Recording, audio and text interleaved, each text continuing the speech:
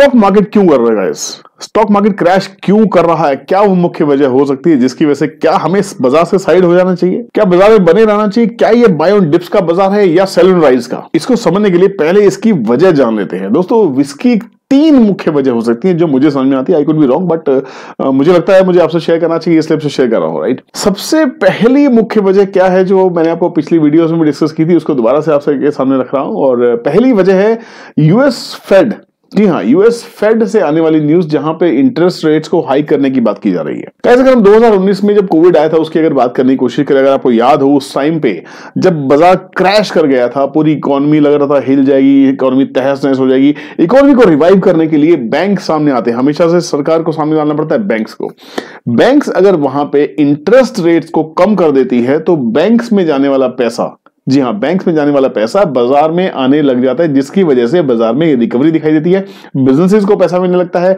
Business growth line पे आती है तो इकोनॉमी की ग्रोथ लाइन पे आने लग जाती है, जिसकी वजह से स्टॉक मार्केट सीधा सीधा इंपैक्ट होता है, जब इंटरेस्ट रेट्स कम किए जाते हैं। अब यह कहा जा रहा है कि फेड शायद इंटरेस्ट रेट को हाइक कर देगा। अगर वो इंटरेस्ट रेट को हाइक कर देता है तो बाज़ार में सेलिंग होनी लाजमी है, और ये बाज़ार के ऊपर एक नेगेटिव इंपैक्ट डालेगी ही डालेगी। दोस्तों, अगर चैनल पे नए हैं तो चैनल को सब्सक्राइब कर लीजिए बेल नोटिफिकेशन हिट रखिए, ताकि हम ऐसी इन्फॉर्मेशन आपसे डेली शेयर कर सके। नमस्कार दोस्तों, मैं हूँ विपुल कौशिक और आपका दोस्त, आपका होस्ट आपका स्वागत करता हूँ आपके YouTube channel stock market today पे। दोस्तों, दूसरी मुख्य वजह क्या हो सकती है? एक बात बाज़ार में एक रूमर की तरह फैली हुई है कि शायद इस बजट के अंदर में एफ़ के ऊपर कुछ रूल्स रेगुलेशन स्ट्रिक्ट कर दिए जाएँगे। हो सकता है long term capital gain tax को दस से बढ़ा के पंद्रह कर दिया जाए। हमें नहीं मालूम है गवर्नमेंट के लिए कोई भी बजट बहुत ही सीक्रेट मैटर होता है।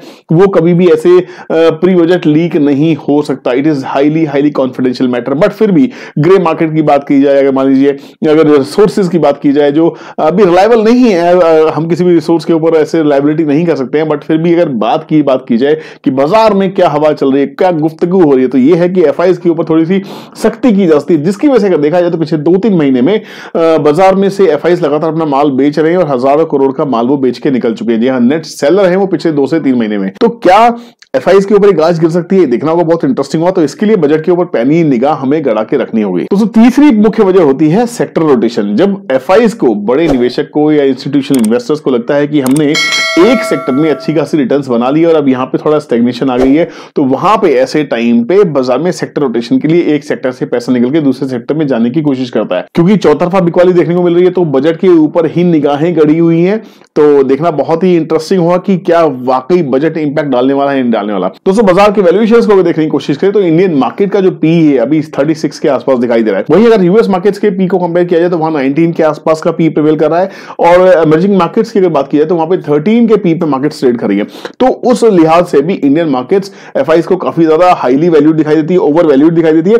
तो ये भी एक वजह होती है, जब वैल्यूशन बहुत ज़्यादा बढ़ जाती है कॉस्टली हो जाती है मार्केट्स तो ऐसा लगता है कि वहाँ से बाज़ार से थोड़ा निकला जाए और एक इकोनॉमी से निकल के हो सकता है। सेक्टर शिफ्टिंग नहीं कंट्री शिफ्टिंग भी हो जाती है कि एफ़ एक देश से निकल के दूसरे देश की इकोनॉमीज में, दूसरे देश की कंपनीज़ में पैसा लगाने लग जाते हैं। क्योंकि हर किसी को अपने रिटर्न्स के ऊपर इन्वेस्टमेंट अच्छी चाहिए और महँगी मार्केट्स में करेक्शन के पूरे पूरे चांसेस होते हैं, इसलिए कहा जाता है correction are always healthy for the market तो अगर आप इस करेक्शन को देख रहे हैं तो दोस्तों करेक्शन झेलने की आदत डाल लीजिए मार्केट का दूसरा नाम ही करेक्शन है।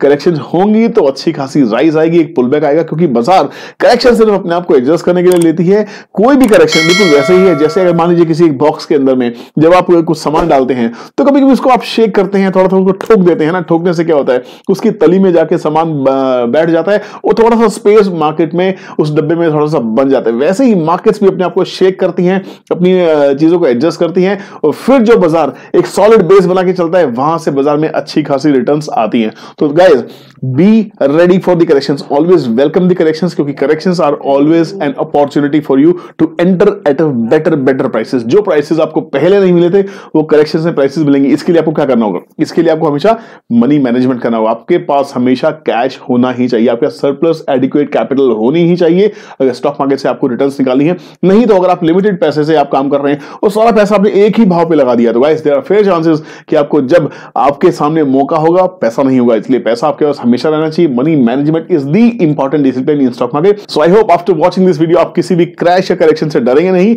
हर करेक्शन या क्रैश को एक अपॉर्चुनिटी की तरह ही देखने की कोशिश करेंगे। इस वीडियो में इतना ही। चलिए मिलते हैं किसी और वीडियो में। इससे पहले अगर चैनल पे नए हैं, अभी तक चैनल को सब्सक्राइब नहीं किया सब्सक्राइब कर लीजिए। बेल नोटिफिकेशन हिट कीजिए, ताकि हम रोज मिल सके और मिलने का सिलसिला आपका जारी रहे।